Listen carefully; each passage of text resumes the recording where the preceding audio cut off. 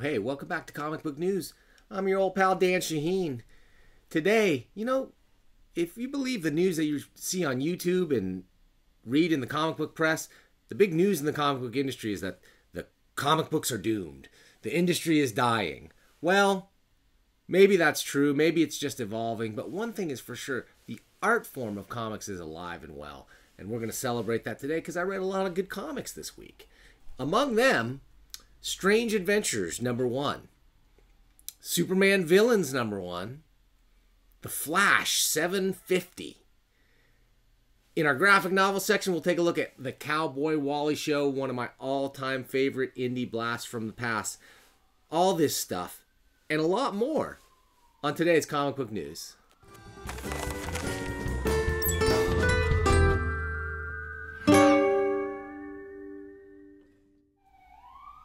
Oh, hey. Oh, my ride's here. Just kidding. Hey, today on Comic Book News, we're going to talk about a lot of stuff. Um, but hey, first, we're going to talk about new comics. What did I read this week? Here we're here at the new comic shop in front of the new comic shelf, and we're going to take a look at the new comics I read. Strange Adventures number one, uh, by written by Tom King, uh, art by Mitch Gerads, the team that brought us uh, Miracle Man, but combined with Evan Doc Shaner. Um, this artwork explores two sides of uh, the the story of like war heroes. Are, somebody could be a war hero in someone's eyes, but also maybe a war criminal in someone else's eyes. Uh, pretty interesting stuff. We'll look at it in depth. Superman villains number one. I don't know why I keep buying these Bendis one shots. Maybe it's the beautiful Bryan Hitch covers. Maybe it's the top notch selection of artists on the inside. Maybe it's the fact that I'm actually buying in a little bit to this whole Bendis uh, Superman revealing his secret identity thing. Uh, anyway, we'll talk about it. Flash 750, another one of these jumbo size prestige edition, uh, big numbered DC issues featuring a bunch of little stories and a bunch of different variant covers to make us buy tons and tons of these things. Well, I picked one. You're looking at the 1950s Gary Frank cover. And how can you not pick uh, a DC comic with a gorilla on the cover, especially Flash? Uh, like you know, last week I forgot to pick up X Men Fantastic Four number four, or number two, sorry. So uh, we'll take a quick peek at it I, because I really liked it and I think it's worth looking at. Uh, Batman number 90. I don't think it's much worth looking at, but uh, we'll take a quick peek and uh, a few more of my thoughts about Batman in the post Tom King era. Um, we'll look at Grant, uh, the Cowboy Wally Show graphic novel, like I talked about, and and and we've got a couple surprises in our back issue section. So hey, wait a minute, we're sitting here, we're talking. You know what we got to do? We got to check out the Million Dollar Comics Camp. Oh wow, here we are checking out the Million Dollar Comics Cam. You know what? You know how we do it on the show. We read everything uh, in reverse order of favorites. So we're gonna start with my least anticipated. Now this doesn't mean it was my least favorite, just the one I was uh, uh, least anticipating reading. Uh, this one lived up to it. Batman number ninety. Um, Tynion and this whole their dark design storyline it just feels it feels like he's trying to do his kind of a throwback to like the classic villains of uh, Gotham City. So we got stuff with Catwoman, Penguin, Joker, and Riddler all teaming up early in their career. And a bunch of nostalgia stuff where Catwoman's talking about how, oh, it was a simpler age back then. Back when, you know, it wasn't all about killing, it was just about like robbing museums and stuff. And then we've got this dumb character, the designer, who I guess is supposed to be like a fashion design type idea, and he's this the ultimate super planner thinker. Whatever. What's his secret identity? Who knows? Um, I did like the artwork in here. I forgot that I forgot the dude's name offhand. Um, but I thought it was it was fun looking Batman art. I'll I'll, I'll definitely have it in the um, stuff below this video. Uh, anyways, it was serviceable, actually very good art wise. The story is just a little bit corny and not my cup of tea. This designer thing, kind of dumb. Feels really contrived. After coming off a heavy, like, interesting, emotional run like Tom King's, to, to go into this kind of stuff is, I don't know, a little disappointing to me. Did like this art. That is a sinister looking Joker. I give him that. Anyway, not super stoked on that. Um, next, I was a little more uh, excited for, for Flash 750, I guess.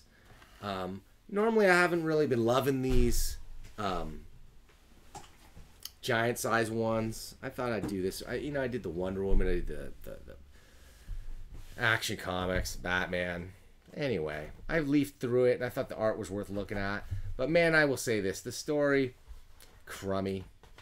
Don't really like the convoluted idea of the Flash. Don't get me wrong, I like the idea of there being legacy heroes. I like the idea of there being Jay Garrick and and then um, uh, uh, Barry Allen and Wally West, etc.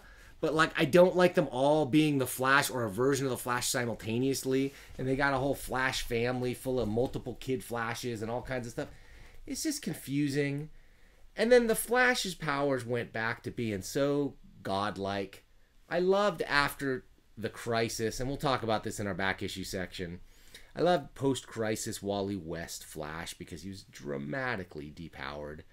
They realized that having a guy who could go at the speed speed of light and travel through time and vibrate through walls is a little uh, doesn't lead to a lot of drama and fun stories. And but over the years they've gone back and forth and they brought in this magical speed force thing and then had to extend it with the slow force and the still force and the whatever force or whatever. Didn't like it. Did like the Scott Kolins art and this little uh, Captain Cold story in here. That was kind of okay. I like me a good Scott Kolins Flash story. Um, but it was varying levels of quality throughout. Didn't make me excited about the Flash.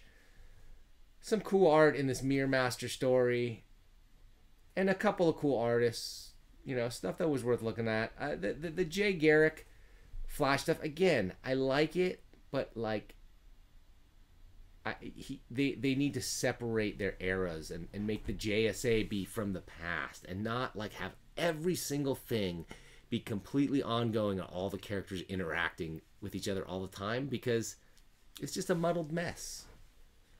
Um, finally, we get what has happened to Wally West in the post uh, what was it? Not Identity Crisis, that other stupid crisis that they did last year that got my worst miniseries of the year, but by Tom King, mind you, and Gerads.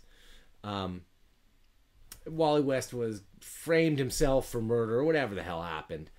Uh, and now somehow he's gotten into the, the Mobius chair and now is at the center of the whole multiverse and space time and crisis and Granted, the Flash has always always been dead center in that stuff, and we'll talk about that a little bit in our flashback issue section. But Flash 750, save your eight bucks because there was not really nothing worth eight bucks in here. Sorry to say, guys. What do we got next? Okay, Superman villains. This one I felt a little bit better about. Uh, five ninety nine, not cheap still, but a nice looking comic. Great cover by Bryan Hitch classic rogues gallery of Superman going on here. Um, good stuff. And this is a, a, mixed bag here. So this is written by Bendis, Matt Fraction, and Jody Houser with art by a bunch of different people, including some faves like Hitch, Cully Hamner I really like, Steve Lieber's cool, Jim Mahfood, that was unexpected. We'll take a look at that. Uh, the usual suspects here for colors and stuff. Um, we'll start out with, and here's my one gripe: they don't tell you who drew which story in particular, so you either got to know your artists or or try and piece it together. I am pretty darn sure this is Cully Hamner. I don't think that this is Michael Gaydos, but maybe I'm wrong. I could be wrong. Let me know in the comments if you know. But this is nice looking stuff. So this is bringing back the fact that they've brought back Superman's parents back into continuity again as a result of recent continuity shenanigans, um, and and brought back the farm. But now Clark Kent has revealed his identity, so he's going to visit the parents, and they're worried about security. And he tells them Batman's got him covered with some kind of bat. Doohickeys, the same stuff that he's got protecting the Batcave, and hardly anybody ever breaks in there. Uh, next, we've got the the Lois Lane stuff. This is the kind of, the kind of cool stuff that's been going on in Action Comics, where basically Lex Luthor slipped Lois Lane info that the new owner of the Daily Planet um, is actually the head of the biggest criminal syndicate in um, Metropolis. So this is a huge conflict of interest for them. You know, they know this could destroy the Daily Planet if they do reveal it, but if they don't someone else reveals it, it would destroy them anyway and ruin their integrity. So interesting stuff. And we're seeing now what we're getting in here is a reaction to a lot of the stuff that I talked about and complained about, and a lot of people talked and complained about about like why would Superman reveal his secret identity? right? And um, because it would be such a danger to everybody at work. But here they're revealing, they're like, dude, how could we feel any safer than having Superman sitting next to you at work? Well, that kind of makes sense, but what about when he's not there? So in here, the Firefly attacks or whatever, and he takes one look at Clark Kent taking his shirt off and uh, and, and takes off. So that's sort of half of the story. But like, if he wasn't there, what would that mean? Would he be able to take them hostage and then use those lives against Clark Kent, those people that he cares about? Maybe, maybe not. I mean, Superman cares about everybody.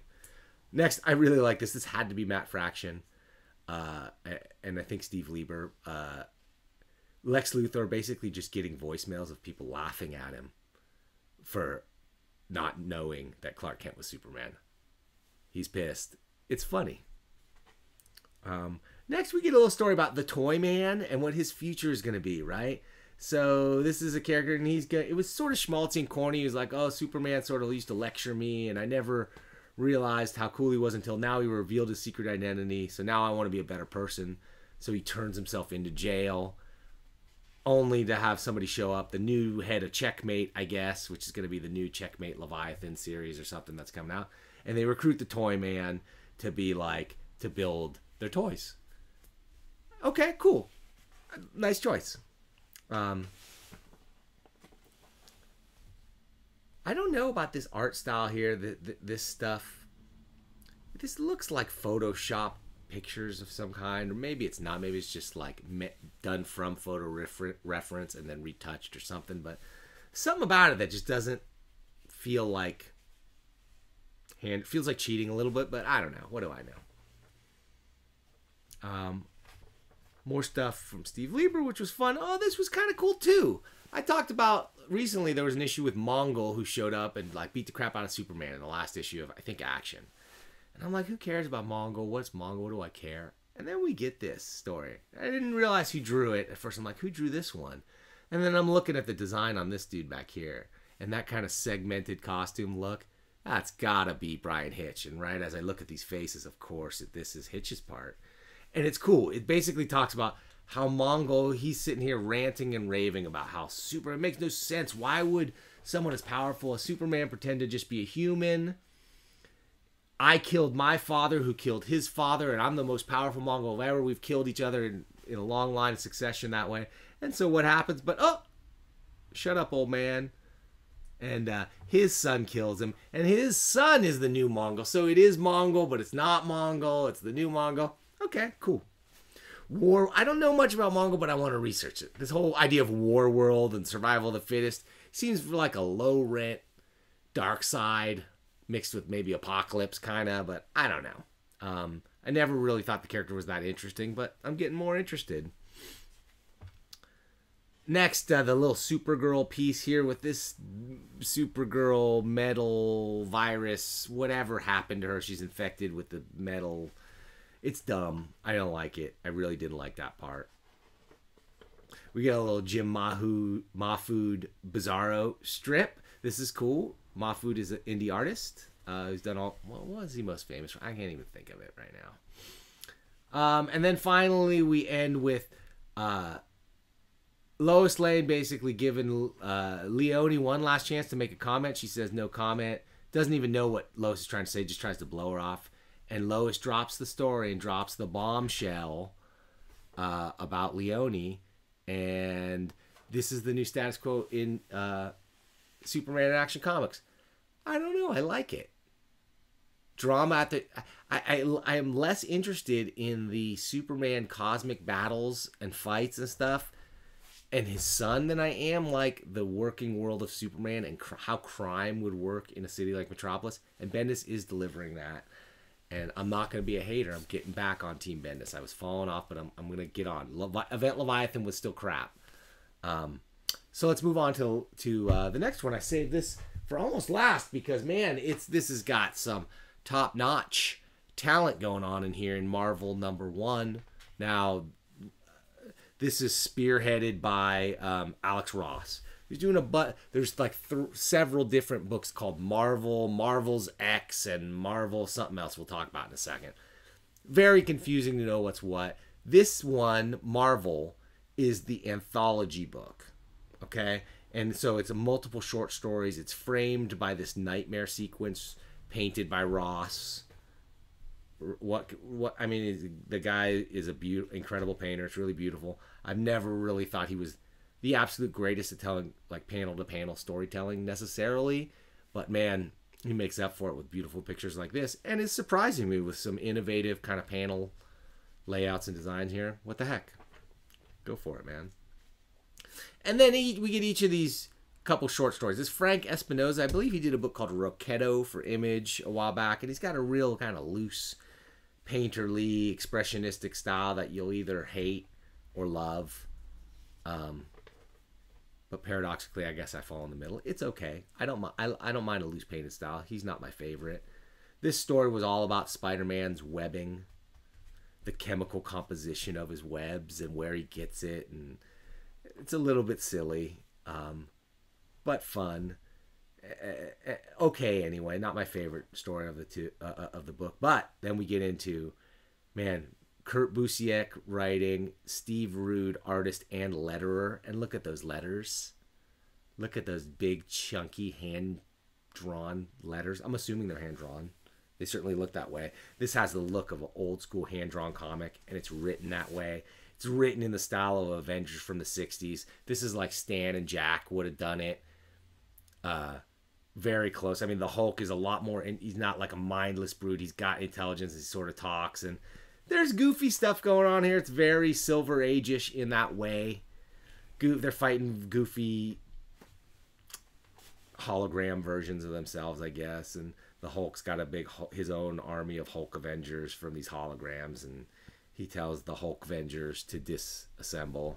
All right, cute gag, but man, Steve Rude is world class these panels of Captain America in action, man, this takes me right back to the Kirby Captain America stuff that as a kid I didn't even know it was Jack Kirby. I just knew it was this Captain America story that had just Captain America doing amazing things.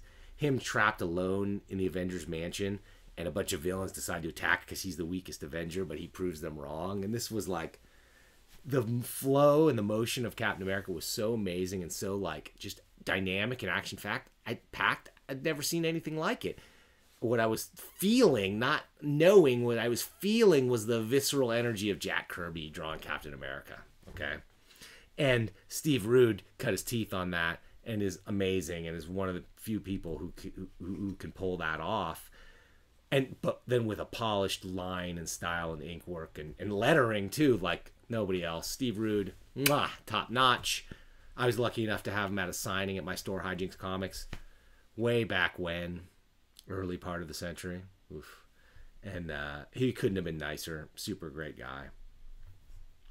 And so then we get a little here. Here's what I was talking about here.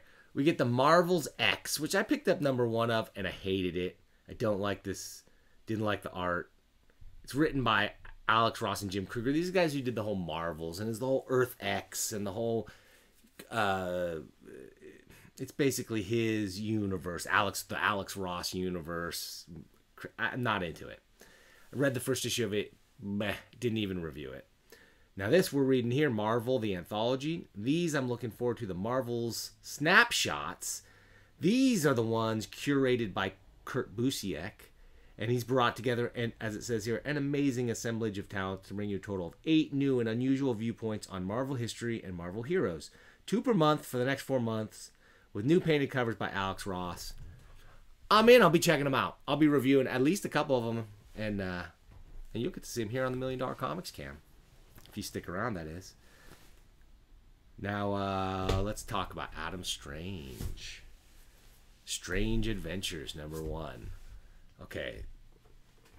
The conceit behind this is Tom King and his old partner in crime, Mitch Gerads, are drawing half of the book. The other half of the book is drawn by this guy, Evan Doc Shaner, who tells the story of when when when when Adam Strange, you know, he gets transported by the Zeta beam to the planet Rann, where he lives that where he lives his other life there, and everything is like idyllic.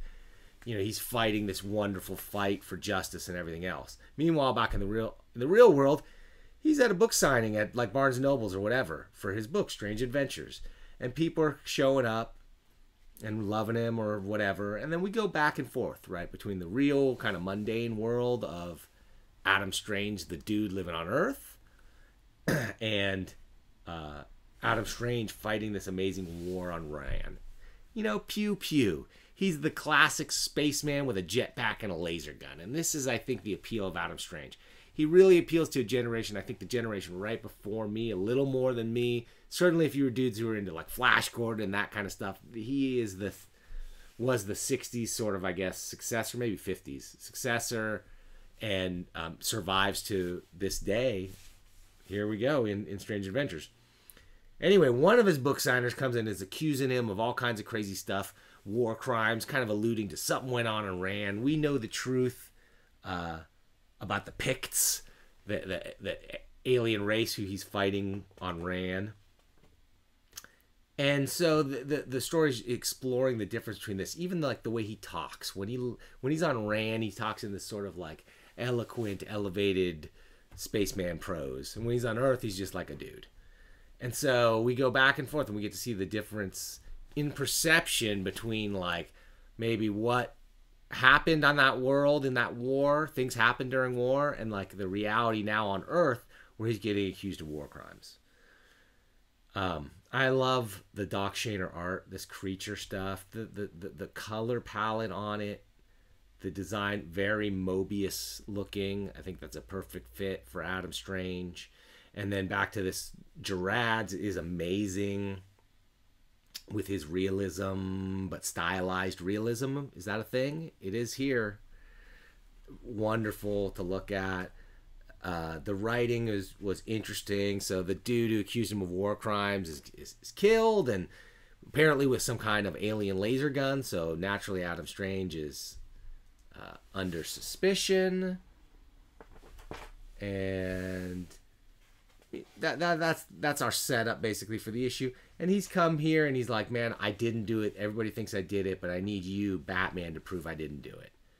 And Batman, off camera, they say like Batman refused me. Said, "No, I can't. I can't help you. I'm too close. Nobody will believe me because I've been your buddy for so long in the Justice League and whatever. But I'll find somebody maybe to help you." Um, and so uh, we end with sort of a dramatic moment on Rann. He was rescuing his, trying to rescue his wife and family, and suddenly the Zeta beam wears off, and and he gets pulled back to Earth. Meanwhile, he's back here, and we gets he gets uh, somebody's here for him, and he gets to meet uh, the dude apparently who Matt, Batman called to help him, who you would know by this goofy jacket is uh, what is he, Mister Terrific? Okay, so we're gonna we're going back to old school, modern twists on old school characters. Pretty cool. I liked it. If you don't like Tom King, you didn't read this. You didn't pick it. You're not gonna pick this up anyway. If you're a Tom King hater, but if you liked him, especially if you liked the stuff that he did on um, Mr. Miracle, uh, this is really in a similar vein. I think you're gonna like it too. So uh, yeah, let's go. Let's talk about uh, back issues for just a second. Uh, today we're going to talk about. Last time we talked about Flash One Two Three Facsimile Edition and how important that was in the founding of uh, the creation of the multiverse. This was the first DC comic with that notion of alternate universes and that earlier different versions of their characters existed in different realities and this was like a big thing obviously because it has completely consumed the world of comics and and, even cartoons Uh, if you watch Rick and Morty or whatever, like the multiverse is a thing. And now this sprung up out of an old tradition of science fiction. This didn't what didn't originate in comics. It originated probably in science fiction serials and pulps and stuff that guys like Gardner Fox read. Um, uh, I wanted to bring up, you know, we also Flash 750 that came out this week, and that's what led me to to read something I picked up at my shop, uh, my local shop, Scruffy Nerd Herder in Eureka. Uh, it was what Flash Dollar Comics Flash number one from 1987, and um, but wait a second, wait a minute, you can't see a logo here. Why would I show you this image when heck I could show you the real thing in the Million Dollar Comic Scam? Oh, no transition. I forgot. Uh, so, Dollar Comics Flash. This was the first Flash comic I ever bought. I bought it off the stands. Um, when it came out, post crisis. Post crisis, pre crisis, Dan, little Danny didn't really read DC books. Crisis and post crisis is what brought me in. The, the, the recreation of the Flash, the chance to jump on board on Superman in Man of Steel and the new new stuff the, the new Flash jumping on board with Wally West. Uh, Barry Allen, the classic Flash everybody knew about, died in a dramatic fashion in the crisis, and he stayed dead. Or he did for a while anyway, till they really blew it and undid that. Because by bringing up Wally West as the as the new Flash, classic costume, new guy, way underpowered compared to previously. Like they took got rid of he could go I think as fast as maybe the speed of sound now which I felt is super fast, of course, enough to be amazingly superhuman and have amazing things, but not be able to just vibrate and bullets pass through him and travel through time and universes and everything else. Uh, this had the art of Jackson Butch Guice and introduced us, reintroduced this new universe to like Vandal Savage and a few other cool characters that came in this Flash series. This was a fun book to read. Um, it introduced the idea that the Flash, this Flash, Wally West had like a crazy high metabolism. It's written by Mike Baron, the classic writer. Um, he has a super high metabolism, so after he uses his speed, he gets really hungry and he has to eat a lot. This was a new switch on the Flash, trying to make him a little more grounded and a little more realistic, and it worked. You know, I also had the opportunity. Uh, there was another um, facsimile edition this week of Mystery in Space number 75, sort of classic Adam Strange adventure, but I had to go to The Flash because this is just right from my youth. This was a little time before me, but it is beautiful to look at. Um, and, you know, I've said it before, I'll say it again. I'm really a sucker for these facsimile editions. I, I, I love them a lot. Um, so anyway, now it's time for our graphic novel segment. I hope you like these new segments we've added here because uh, it takes work. These things don't just happen. Today we're gonna talk about one of my man, one of my all-time favorite graphic novels. Like I read reread this all the time.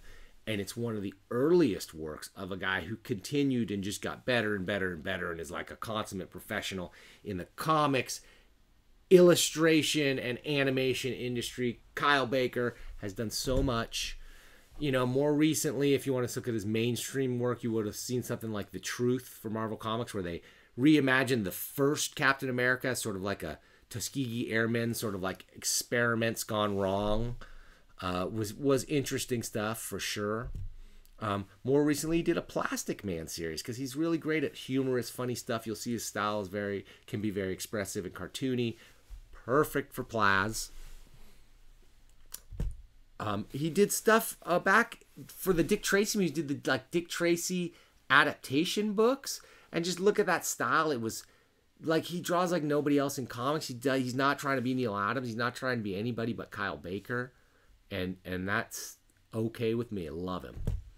Um, got really uh, popular and broke once he came. Um, he did Cowboy Wally Show was like his first book. He presented some strips to um, a, a publisher um, and uh, and they asked for more, and he sort of fleshed it out into the Cowboy Wally show. But he first started in comics working at Marvel. He was an intern at Marvel Comics making photocopies and filing fan mail. Okay, did all kinds of work, did little pieces here and there. F- finally, showed stuff to Doubleday, who liked the Cowboy Wally stuff, and let him write a book. And he did a graphic novel. This was way back. Uh, what year? In, in, it was in the 80s anyway. Nobody did original graphic novels, especially this was non-super stuff. This is very tradition, uh, non-traditional stuff in Cowboy Wally show, as you'll see. And he went on to follow it up with Why I Hate Saturn, which he's much more well known for, and you might enjoy. Um, he talked about. Uh, um, he, he wrote Why I Hate Saturn at a time when comic books stopped being fun for him. He was tired of being told how to draw and what to draw, sick of begging people to let him work the way he wanted. Editors told him his stuff was underground and alternative, and he decided if he was going to work in a creatively oppressive atmosphere and not even be allowed to own his own work, he might as well go to Hollywood and be oppressed for big money. So he went over, uh, he did uh, uh, Why I Hate Saturn and used it as a pitch to like pitch into Hollywood. And he got into animation. He did tons and tons of stuff. Guy's amazing. Um, I would also recommend um, picking up, if you can find it, look for something called Instant Piano. This was an anthology book of work he did with his buddies from way back when, who end up being some of the great cartoonists around. It's Kyle Baker, Mark Badger, Robbie Busch, Stephen DeStefano, and Evan Dorkin. Evan Dorkin, one of my all-time favorites. We'll be talking about him a lot soon. Um, pick up Instant Piano if you can find it. But for now, uh, let's talk about Cow- Cowboy Wally show uh, in the uh, where, where, where in the Million Dollar Comics cam right? In the graphic novel cam. So this is black and white. You're gonna, it's uh, oversized, right? Here's a regular comic. Here's Cowboy Wally show. This is a format that Baker uh, likes drawing. How how, how I uh, Why I Hate Saturn is also in this format. Big and chunky. I remember finding this book in a in a bookstore in Emeryville, California, in like a Borders book. I just saw it, never heard of it, and looked at it and said, "This is amazing." I opened it and laughed. And that's one of my my it was in the humor section. And that's one of my things I do with comic strip books. If I take a comic strip book, I will flip open to a random page, and if I laugh at the comic strip, then I'll buy the book. I'll give it maybe one or two chances, but if I don't laugh, no, then I don't. So Cowboy Wally is I don't it's it's like a mockumentary, so it's almost Spinal Tapish, following the career of our titular uh, character, Cowboy Wally.